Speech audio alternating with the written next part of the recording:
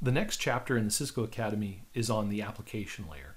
And it's the application layer at the TCP/IP model. So it refers to the application, presentation, and session layers in the OSI model, layers 5, 6, and 7. So what happens at the application layer and in layers 5, 6, and 7? So at the top layer, layer 7, we've got the applications and services that interface with the end user. At the presentation layer, it's about how the data is being presented or translated. It's how the data is formatted, encoded or encrypted, compressed, and then presented to the user. And it can be decompressed, basically decrypted, things like that. And then at the session layer, we're talking about establishing, maintaining, and terminating sessions between the end user application processes. Now, the key thing to remember here is this is not about the connection at the transport layer with TCP. This is basically the end user application, the program like the web browser or the FTP client, establishing, maintaining, and terminating the session at the application layer. So, in other words, we're talking here about the application is doing this. Okay, so if we look at this next slide, you can see here that the important point is, is that at this, at this layer, at the application layer, we're talking about data, user data. Now, the presentation layer will then encode that user data.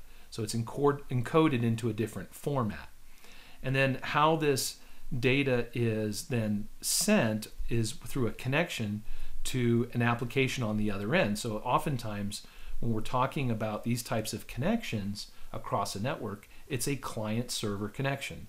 So there's going to be a client application like a web browser, and then a server application like a web server. And so the sessions here at the application layer is how is that session, how is that one application talking to the other application?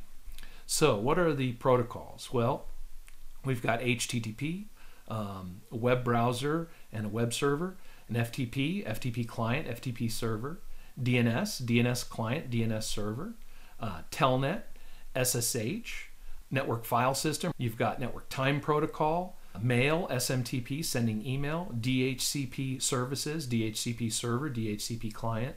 You have NetConf, which allows you to remotely manage networking devices um, using like Python. You have RDP, remote desktop protocol, and SMB, um, server message block, or Samba. So this would be um, file sharing, basically, or, or file services, file sharing over a network. At the presentation layer, we're talking about the different how data can be presented. So in email, MIME types allow different file types to be sent across email. ASCII text, uh, pretty good privacy, encrypted, uh, used oftentimes with uh, email encryption.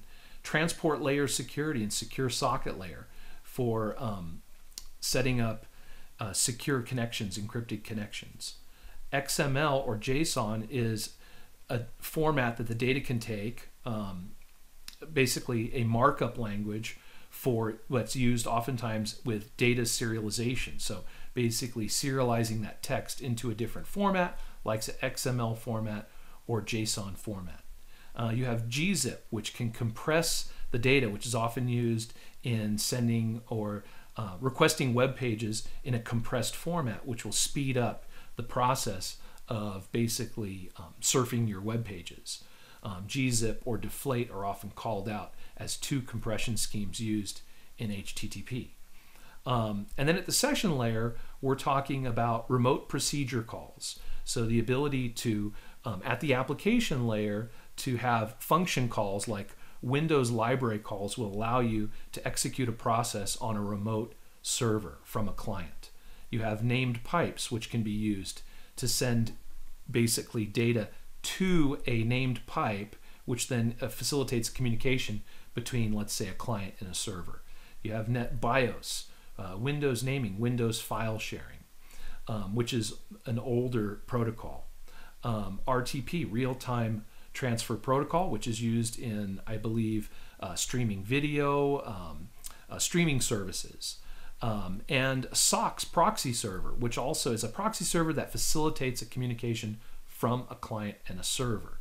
So um, setting up those sessions. In other words, these are maybe like the function calls that help us to establish, maintain, and then tear down or terminate that session.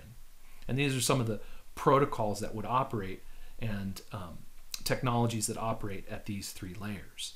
Now, if we wanted to kind of see this in action, we could look at like a HTTP request and an FTP request from an FTP client to an FTP server.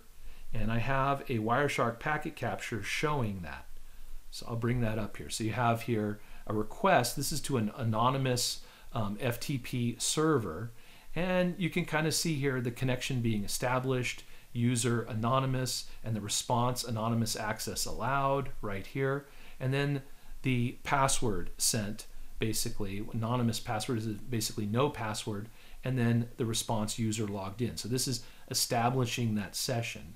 Then you have certain things that are um, how the data is going to be presented, like um, asking what are the extended features that are supported at the FTP server, and then responding with, well, language English, authentication, TLS, uh, transport layer security, SSL.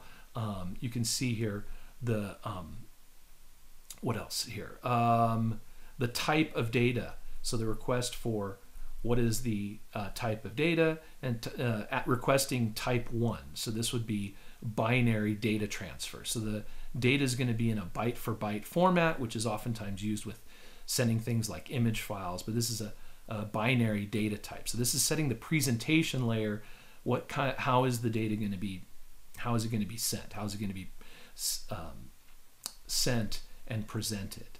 And then if we look here these are application layer functions. So we want to have passive mode, which is part of the session. Um, list the files in the in the directory. Um, print the working directory. These are all application layer commands. These are FTP commands that are being executed. So this is all the application layer. And then you have something like right here, a message like this that says transfer complete, right? Part of the session layer, okay? Um, if we look at another type of connection, let's say an HTTP connection, so this is a Wireshark packet capture of an HTTP con connection, you can see here right at the beginning, you have an HTTP. This is the get command. You want to get a web page.